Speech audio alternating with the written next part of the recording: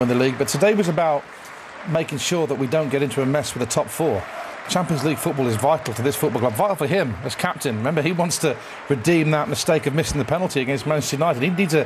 So many of these Chelsea guys need Champions League, Champions League medals, winners' medals, and to get that, you have to qualify. It's a tidy performance today. In the context of what it means to Ancelotti as manager, I don't think.